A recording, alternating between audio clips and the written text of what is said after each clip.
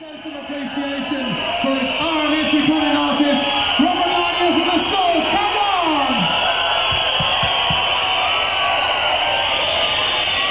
Our next DJ has come all the way from Holland. This is his first time resurrection. Make